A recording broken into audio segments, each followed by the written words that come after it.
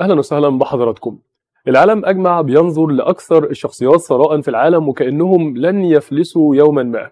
وهو الفكر اللي سبح عكس تياره تقرير صادر عن مجموعة أوكسفام وكشف التقرير الصادر عن المجموعة أن الأمر سيستغرق 476 سنة عشان يستنفد أغنى خمس رجال في العالم كل أموالهم لو قرروا إنفاق مليون دولار يوميا.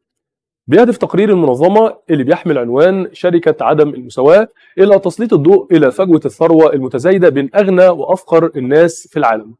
كمان بتشير المجموعة في التقرير اللي أصدرته إلى أن أغنى خمس أشخاص في العالم بما في ذلك أمثال رئيس شركة تسلا إيلون ماسك ومؤسس أمازون جيف بيزوس شهدوا ثروات بتتضاعف من 405 مليار دولار إلى 869 مليار دولار وده ارتفاع نسبته بلغت حوالي 114% ارتفاع رهيب في ثروة الثنائي. أشار كمان التقرير إلى أنه إذا أنفق كل من أغنى خمس رجال في العالم مليون دولار أمريكي يوميا فهيستغرق الأمر 476 سنة من أجل استنفاد ثرواتهم مجتمعة.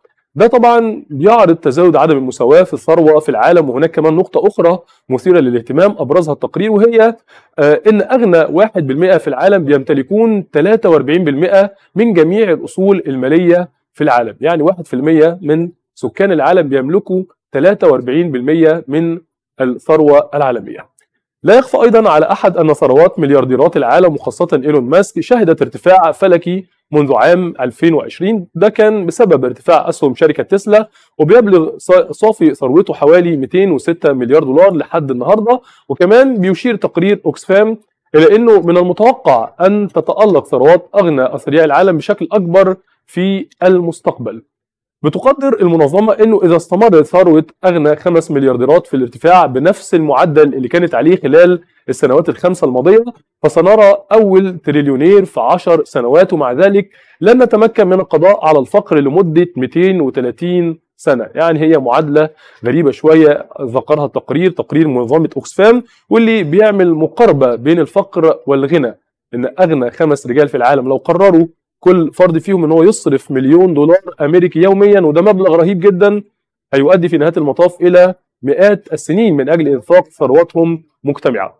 في حين كمان شهد أغنى أغنياء العالم تسارع ثرواتهم بيعاني العالم من ارتفاع مستويات التضخم والأثر الاقتصادي لتغير المناخ والصراعات الجيوسياسية واللي جعلت حياتهم أكثر صعوبة.